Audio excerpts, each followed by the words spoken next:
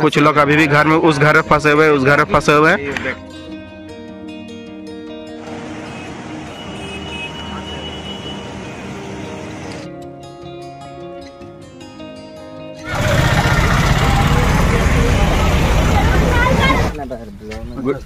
अबे तो मुँह कर ना बीएस फ़ार्मिंग ना आज हम लोग ब्लॉग बना रहे गाइस गुड मॉर्निंग गाइस तो जैसा कि आप लोग जान रहे हैं दो दिन से काफ़ी तेज बारिश हो रहा है तो हम लोग घर की तरफ़ नदी सामने पड़ता है दामोदर नदी झारखंड का। उसमें काफ़ी उफान में पानी बढ़ा है और बाढ़ भी आ गया है जिसके कारण कुछ कुछ बस्तियाँ डूब चुके हैं। तो उसी को हम लोग देखने के लिए जा रहे हैं। चलिए आगे आप ब्लॉग में बने रहे और आगे आपको दिखाते हैं। बीएस फ़ार्मिंग नहीं है गाइस आज हम आ, आज हम ब्लॉग बना रहे गाइज़ आज बी फ़ार्मिंग वाला पीछे पीछे है। तो गाइस देखिए हम लोग इतना लोग जा रहे हैं। इधर बी एस फ़ार्मिंग वाला है उधर रिसु है टोटो वाला ये है भीमाट वाला और उधर है हेल्पिंग हैंड वाला। है और हाँ हमें भाई कलेक्शन बॉय ठीक है। सबका अपना अपना काम है तो चलते हैं सुबह सुबह थोड़ा माइंड फ्रेश होगा। खाली कोई डूब मत जाना भाई लोग ठीक है?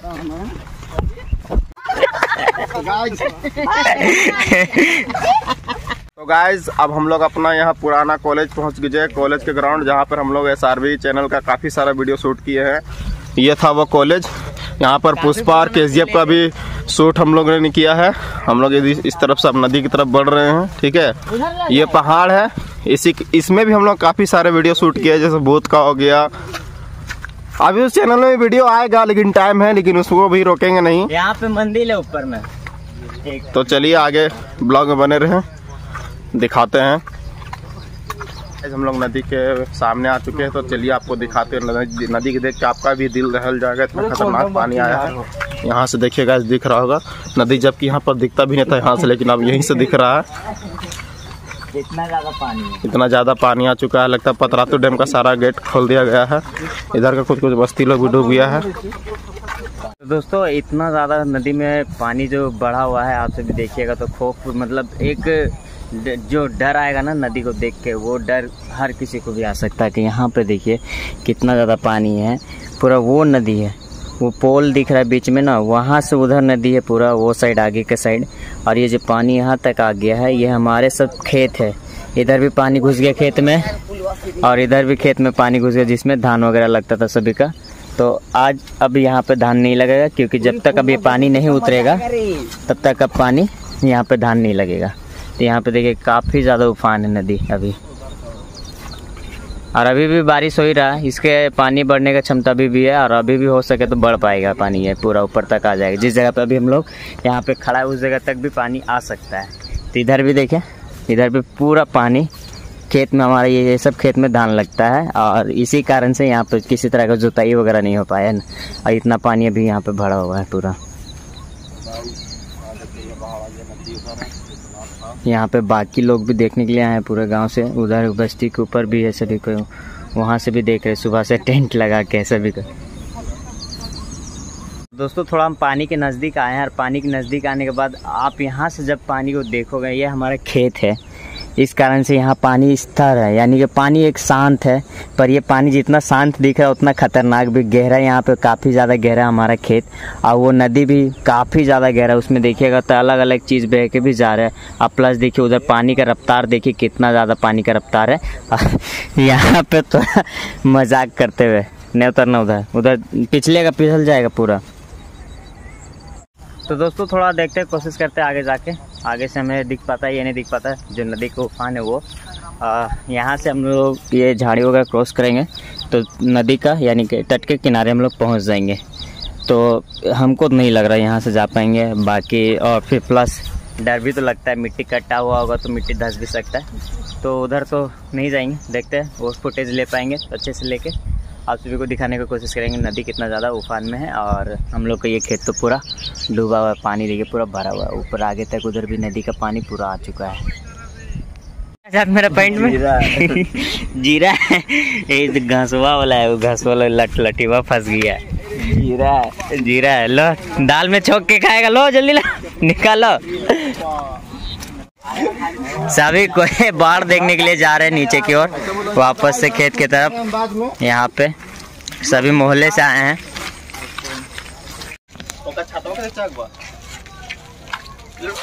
सोच रहे हैं दो चार लाख में निपटा देंगे।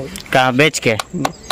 भाग जाइएगा। हम हम ही तो बता रहे हैं। वीडियो कर रहे हैं छोड़ दीजिएगा तो गाय जैसा देख सकते हैं यहाँ पे वो जो उधर जो जितने सारे घर थे सारे डूब चुके हैं। वो जो वो जो थोड़े थोड़े जो घर दिख रहे हैं वो सारे दो तल्ले घर थे और जितने भी एक तल्ले घर थे सारे डूब चुके हैं पानी में। कुछ लोग अभी भी घर में कुछ लोग अभी भी घर में उस घर में फंसे हुए हैं उस घर में फंसे हुए हैं। तो अभी कुछ देर कुछ देर बाद कुछ टीम आएगी उनको बचाने के लिए तो बचाएगी ठीक है?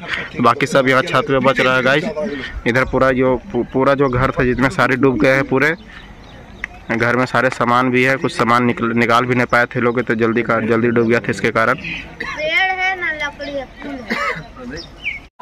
है। तो दोस्तों यहाँ पे ये नदी किनारे जो एक पुल है यानी कि पोल तो ये यहाँ पे तार टूट के ये पोल मतलब ये नदी के अंदर डूबने वाला है कुछ देर के बाद और प्लस धीरे धीरे वो झुक रहा है वो तार के ही सपोर्ट से अभी तक खड़ा है। बाकी एक तार देख सकते हैं वहाँ पे टूटा हुआ है। और यहाँ पे जस्ट अभी हम लोग नदी के पूरा तट के किनारे ही खड़ा है कुछ लोग वहाँ पे भी खड़े हैं। और नज़ारा ले रहे हैं बट इसमें जिसका घर डूबा उन्हीं को पता है कि उनके साथ क्या बीत रहा है।